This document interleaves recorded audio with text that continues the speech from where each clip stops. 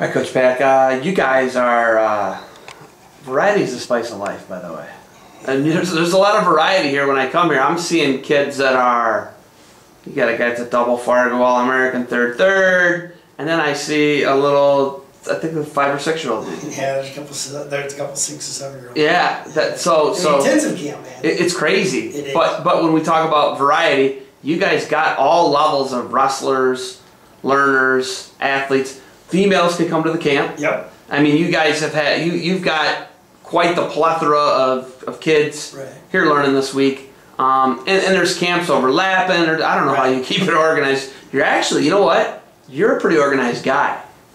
You're constantly meeting with your guys. You and your wife are on the phone, I think, about 37,000 times a day. But the, the lines of communication are open. Right. So it's pretty impressive for you.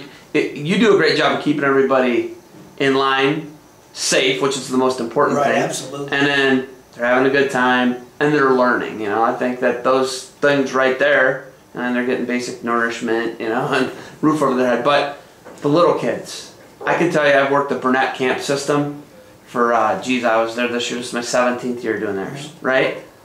I can tell you that every week or every two week stretch, I knew there was little kids coming in. I had to like find a new outlet or like I, you know, because it's it's it gets frustrating. It does, man. I'm It not an elementary education guy. That's hard. How do you guys do such a night? You do a great job of managing the young kids.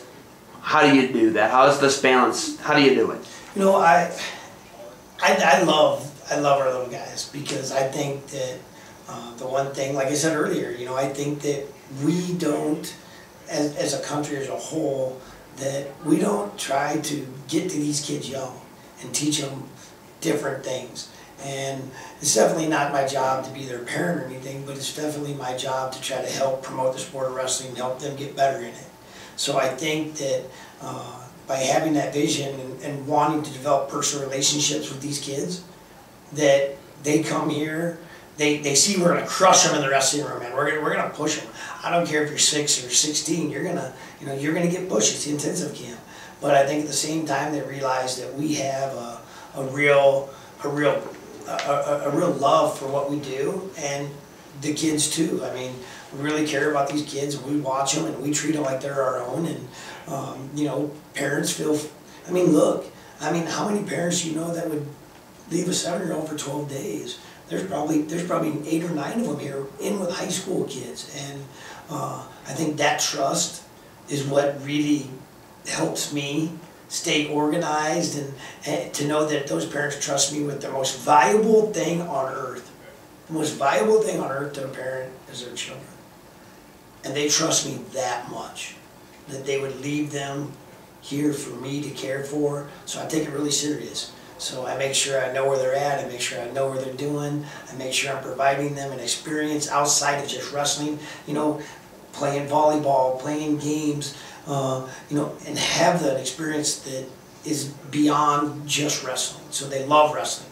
I want them to love wrestling. Best way to get a little kid to love wrestling is to find other things that they can do in combination with wrestling. Yes. To make them love it. So when I look at that, we're talking about uh, uh two, th- not two things, uh, multiple things that really impressed me.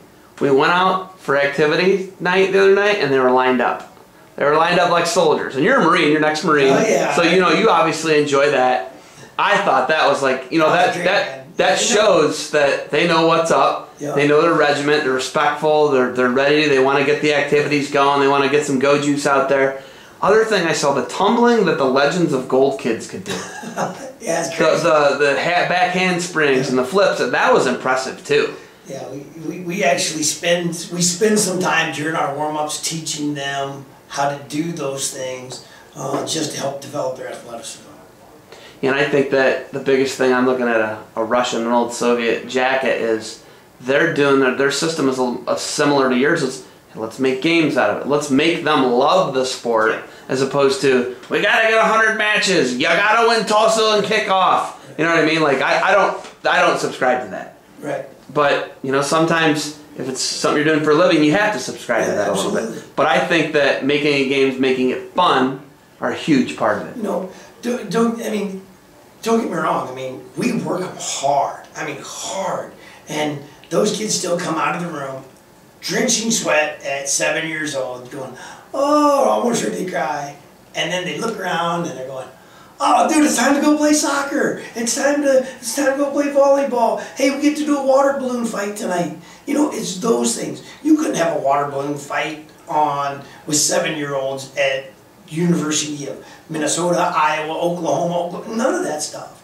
And that's not a knock to them because I love all those coaches. I'm just saying the system is built differently to provide a different service for kids. Looking at bringing the little kids in, keeping costs low. We've talked about that already. Right. You know, you said something. Somebody called you. It was kind of a dig on you. When you It said was. somebody called you the, the Walmart of wrestling. Yeah, they call me the Walmart of wrestling. The guys that run the bigger clubs and, um, you know, and I, and I laugh. But it isn't cookie cutter when you come here. It's a very unique, individualized experience with a lot of coaches, and the, the athlete to coach ratio is low, Yeah, that's great. and that's great. But the other thing is you're making it affordable for people in the Midwest. Right. But you know we want to start getting those West Coast people, those East Coast Yeah. people, the Southeast people. That's kind of the goal when we come here, and we want to promote the promote the sport. Right. Like you keep talking about that, but um, keeping the cost low. You know, kind of kind of tell me how important that is to you as a nonprofit guy to keep costs low and letting younger, you know, ten and under kids come in. Well, I mean, I, I think that, first of all, anytime somebody, especially in today's world, you know, money's valuable to people. And one of the things that we wanted to do is make it economically affordable. I mean, I grew up in a single family home after my mom and dad were divorced. And I didn't have money. I, I couldn't go to wrestling camps. I couldn't do this stuff I didn't have the money. I want to be able to provide a service to people that allow everybody the opportunity to come here, not just because uh, they have enough money to be here, but because they want to be here. And you know, we, we there's a process. We we give we gave fifteen thousand dollars in scholarships. And we say, hey, you have to write a letter. So the kid has to write the letter. Then a parent has to write a letter of support, and then they have to go get a coach or a teacher to also write a letter of support. So I mean, and we're here to help kids, and we keep the costs low.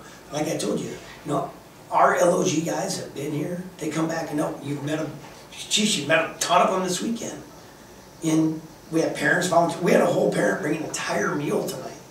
They said, hey, you know, you could save some money this week. Not order an entire meal for 107 kids.